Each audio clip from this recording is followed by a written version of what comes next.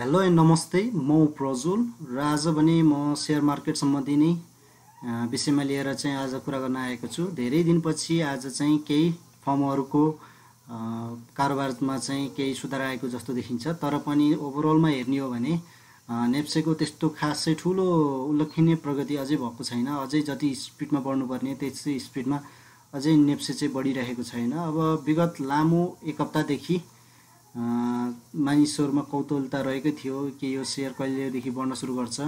किनभने सधैँ बुलमा गइरहेको सेयर एक्कासी चाहिँ रातो सरी रातै देखिँदाखेरि सबैमा कौतूहलता हुनु स्वाभाविक नै हो कि यो चाहिँ डाउनफल हुनु सुरु गरिसकेको छ कि अब हाम्रो लगानी डुब्यो भन्ने विषयमा सबैको एउटा चासो हुनु स्वाभाविकै हो। आज यसैको विषयमा रहेर कुरा गर्नेछु र साथसाथै आजदेखि कारोबार सुरु भएको सानीमा लाइफ इन्सुरेन्सको कतिसम्म पुग्नुपर्ने सेयर हो र त्यसलाई होल्ड गर्दा ठिक हुन्छ या सोल्ड गर्दा यी समग्र विषयमा रहेर पनि म कुरा गर्नेछु। सो आई होप तपाईँहरू यो भिडियो अन्तिमसम्म हेरिदिनुहुनेछ। सो लेट्स बिगिन त्यस्तै कुरा गर्दाखेरि मैले योभन्दा गएको दुईवटा भिडियोमा पनि मैले कुरा गरेको थिएँ कि यो केही क्षणिक मात्रै हो। मार्केट करेक्सनको बाटोमै छ नेप्से किनभने नेप्से अझै पुरा डाउन ट्रेन्ड चाहिँ भइसकेको छैन। किनभने कुनै पनि बुलमा गएकोलाई सेयर मार्केटलाई सिधै बियरमा ल्याउनको लागि चाहिँ कमसेकम ट्वेन्टी पर्सेन्टको रेसियोले चाहिँ घटेको हुनुपर्ने छ र अहिलेसम्म त्यस्तो खासै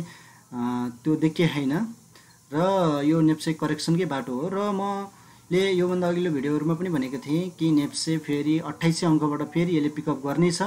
र मैले सधैँ पनि भनिरहेको थिएँ कि खास यो प्रत्येक चाहिँ हाम्रो नेपाल सेयर मार्केटको चाहिँ ट्रेन्ड के थियो भने करिब तिन सय अङ्क जति करेक्सन हुने त्यसबाट फेरि रिभर्स लिने गरेको थियो। र यसपालि भने अलिकति तिन सयदेखि अलिकति साढे तिन सय जतिको डाउनफल आएर चाहिँ फेरि यसले रिभर्स लिन खोजेको छ। र अहिले चाहिँ उन्तिस सय छब्बिस अङ्कमा चाहिँ रहिरहेको यो चाहिँ मैले चाहिँ उन्तिस सयबाट नै पिकअप लिएर माथि जान्छ कि भनेको यो उन्तिस सय छब्बिसमा आएको थियो। सम्भवतः यो अट्ठाइस सयबाटै पिकअप लिन्छ होला किनभने पहिले पनि अट्ठाइस सयबाटै पिकअप लिएर गएको थियो। र आरएसआई हेर्दाखेरि पनि यसले करिब करिब तलको below the line forty thirty लाइनलाई नै छोइसकेको थियो। खास मलाई चाहिँ लागेको थियो फोर्टीबाट यसले रिभर्स लिन्छ। तर जस फोर्टीबाट रिभर्स लिएको भएको भए उन्तिस सय पचासी या उन्तिस सयबाट चाहिँ यसले रिभर्स लिनुपर्ने थियो। तर यो चाहिँ थर्टी बेस लाइनै छोला जस्तो लाग्यो। त्यही भएर चाहिँ अब बेस लाइनलाई यसले छुँदै गर्दाखेरि पनि सम्भवतः आइतबारदेखि चाहिँ कारोबार फेरि चाहिँ सुध्रिने मैले अधिक सम्भावना देखेको छु र आइतबारदेखि चाहिँ फेरि अप ट्रेन्डमा जाने जस्तो लागिरहेको छ। अब एकैसाथ त भन्न सकिँदैन हामीले पनि डेटालाई नै हेर्ने हो। जस ओभरअल हेर्दाखेरि चाहिँ आइतबारदेखि फेरि मार्केट चाहिँ सुध्रिने अलिकति सम्भावना रहेको छ।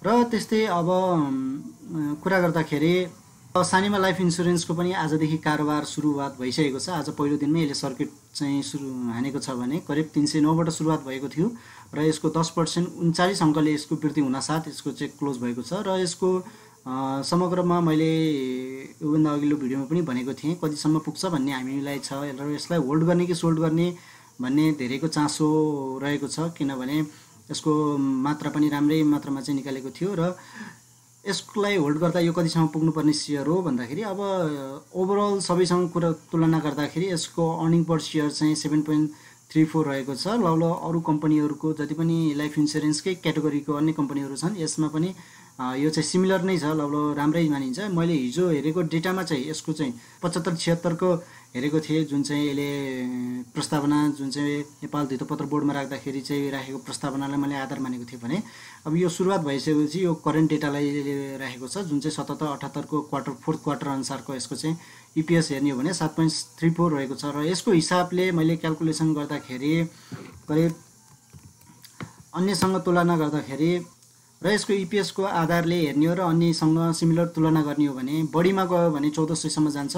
किनभने अन्यसँग तुलना गर्दाखेरि किनभने कति कुरा चाहिँ नेपाल सेयर मार्केटमा धेरै कुरा चाहिँ अन्य धेरै कुराहरूले प्रभाव पार्ने गरेको देखिन्छ। किनभने डेटाकै आधारमा चाहिँ एक्युरेट हुँदैन।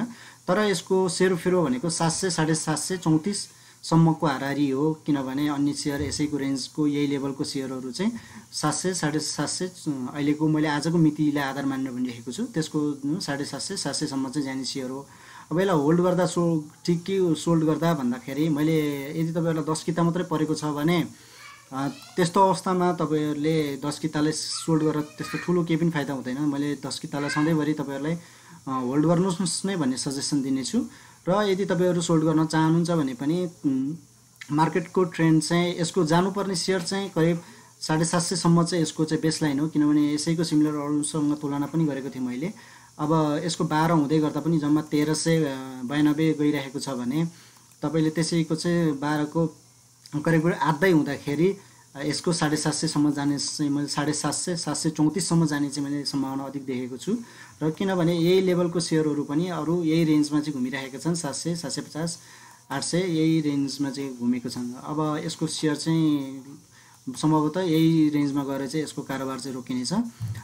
जस होल्ड गर्दा ठिक कि सोल्ड गर्दा यदि तपाईँहरूलाई सँग अहिले फाइनेन्सियल कुनै पनि समस्या छैन भने तपाईँले यसलाई होल्ड गर्दै ठिक हुन्छ। किनभने दस किताबले सेल्ड गर् सोल्ड गर्दैमा खासै ठुलो लाभांश केही पनि आउने छैन त्यही भएर होल्ड गर्दै हुनेछ। यदि सोल्ड गर्न चाहनुहुन्छ भने पनि सात सय कटेपछि चाहिँ तपाईँहरूले चाहिँ अलिकति विचार गर्नु होला र त्यसमा एउटा आफूलाई उपयुक्त लागेको सिचुएसनमा चाहिँ तपाईँहरूले सोल्ड गर्न सक्नुहुन्छ। तर सात सयभन्दा तलै चाहिँ यसलाई चाहिँ सोल्ड नगर्नु होला किनभने यो सात सयभन्दा अलिकति माथि नै जाने सेयर हो। र यही नै थियो आजको मैले चाहिँ ओभरअल कुरा गरेको छु। यसको कुनै पनि डिटेलमा गएर मैले कुनै पनि यसको फाइनेन्सियल डिटेलमा गएर तपाईँलाई कुरा गरेँ तर एउटा चाहिँ क्यालकुलेसनको हिसाबले नर्मल बेसिक अन्डरस्ट्यान्डिङको हिसाबले मैले कुरा गर्दाखेरि तपाईँहरूले यसलाई होल्ड गर्ने ठिक हुनेछ। सो यही नै थियो आजको भिडियो सो आई होप तपाईँहरूलाई यो भिडियो इन्ट्रेस्टिङ लाग्यो होला। Have a good day bye